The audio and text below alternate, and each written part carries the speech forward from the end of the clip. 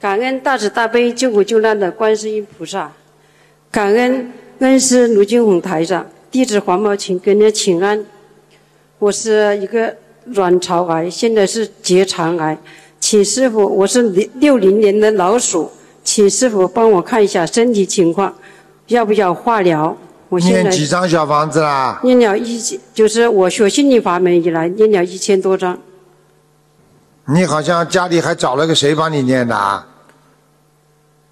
就是这一次我在做手术的时候，同修帮助我助念了有有有一百多张。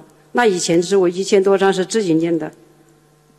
几几年属什么的？六零年属鼠的，卵巢癌没事，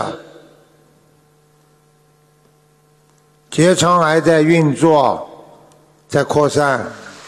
是还在化疗，还需不需你的肠子好像跟人家不一样吧？这四月份才做了做了结肠剪掉一段。对对对，刚刚做了，台长厉害不厉害啊？你厉害。啊，你们所以拜这个师傅，你们不会吃亏的。以后到了要命的时候，师傅一叫，我就算见不到你们，法身也来啊。那我最好少叫我，我很忙的，对不起师傅，跟你们开玩笑的。他现在说我要学观世音菩萨有求必应，不过学不像。讲下去啊，他现在说我淋巴很多淋巴服不浮不右面右腿边上的淋巴，这需要还要化疗吗？我看看啊，他是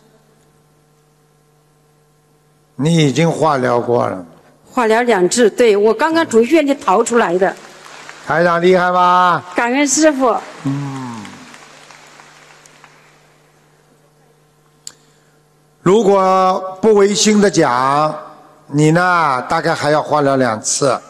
如果你许大愿，你不凶啊，你求求菩萨看，这几天观世音菩萨都在，你好好的虔诚啊，许个大愿，你看看你应该如果不化疗的话，应该能够度过去。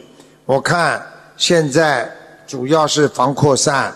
因为结肠癌这个癌字癌症已经基本上被控制了，没有什么大的洞，就怕扩散，而且有点不舒服而已。你现在的肠子很不舒服，听得懂吗？对对，像针扎的。像，那我，那我现在要多少张小房子，还要放多少针？放生一万两千条，好的，小房子再念四百张，然后要改脾气、改毛病，要忏悔。你曾经跟一个男的两个人作恶，就是说两个人斗得很厉害。是的，现在他在给你下杠头呢。你们的师傅厉害，师傅，我那个喉咙和、肝胆肾上面都有东西，那是什么原因呢、什么原因？过去吃活的东西太多，听得懂吗？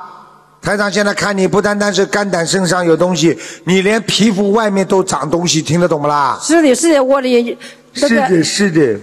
有危险。腰上，腰上也有疙瘩，明白了吗？大腿的右侧也有疙瘩，是的，是的，是的。是的，是的，肚脐眼边上都有红疙瘩，你还要我看呐、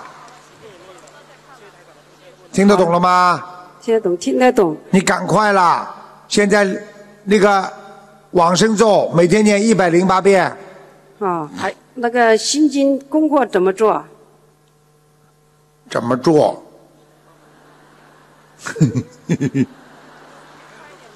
心经就这么做，好的，谢谢，谢谢。每天念二十一遍，这么做。